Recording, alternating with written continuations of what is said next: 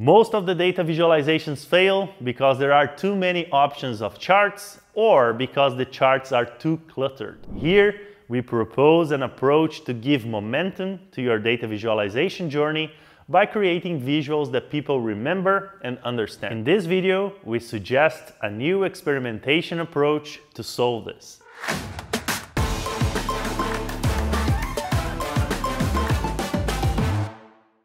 Hey, my name is Bernardo and I'm a lead data scientist here at Growth Tribe. If you are a member of our learning community and follow our content, you already know very well that one of our main beliefs is that experimentation and a healthy peer review fastens the crafting of a business solution and reduces costly mistakes. Especially in the case of explanatory data analysis, we use a framework that helps people start iterating their data visualization process with the audience acceptance as the final goal. We say that the audience accepts the visual when there's engagement and the insight is easy to understand and remember. Let's take a look at the prerequisites, what you should know first before start prototyping your visuals. This might sound cheesy, but you actually need to understand your audience. I know it sounds obvious, but it's good to have this as a clear notion from the start. It's actually one of the principles of design thinking. We will then, as the next step, identify the action that you would like the audience to take after seeing your visual or watching your entire presentation.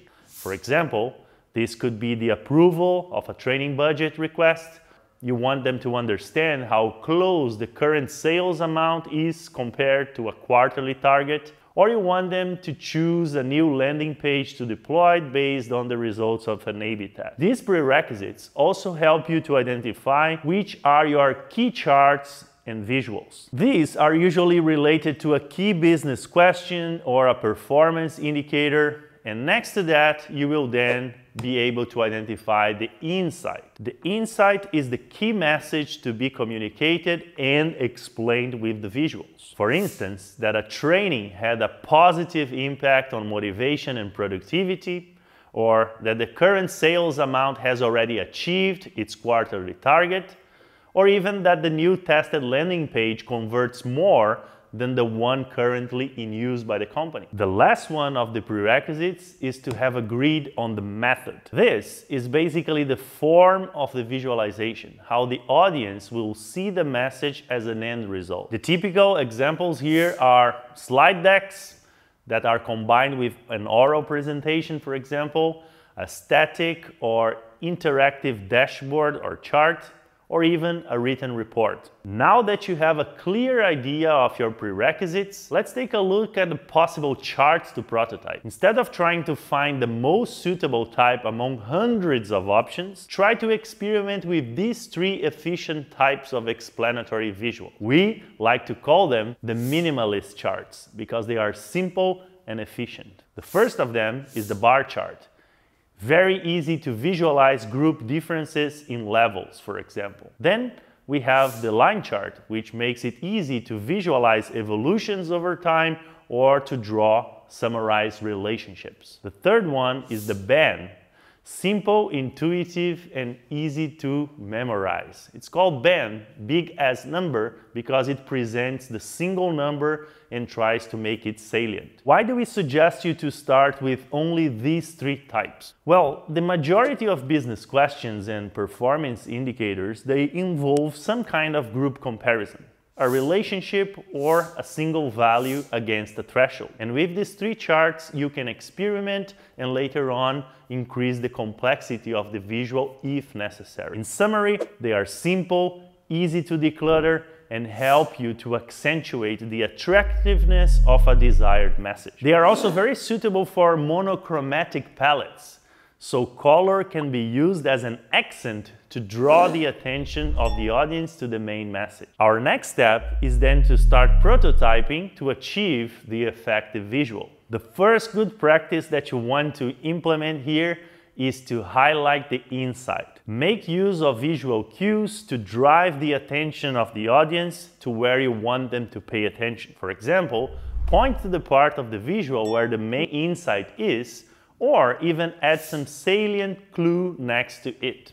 Second, explain with text. Add informative labels and captions. The idea here is to make the visuals as accessible as possible. For example, even a person who never did data analysis could get a takeaway message from the visual. Also, reduce clutter. Don't add things simply because you have empty spaces. For example, remove all the unnecessary grid lines, borders, and axis labels that are secondary. Preserve empty spaces to help the audience to find where the main information is. And most importantly for your success, embrace peer review.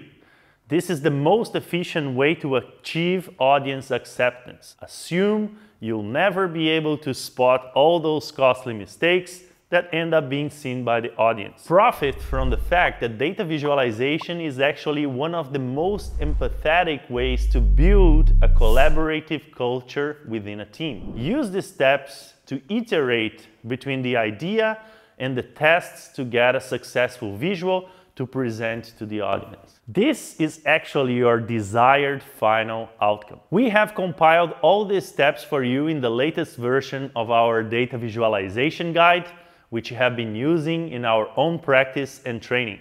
You can download the guide by clicking the link in the description below. There, you will see we have compiled some inspirational examples, top data visualization voices you should follow to feel inspired as well. Also check these top voices' own visualization guides.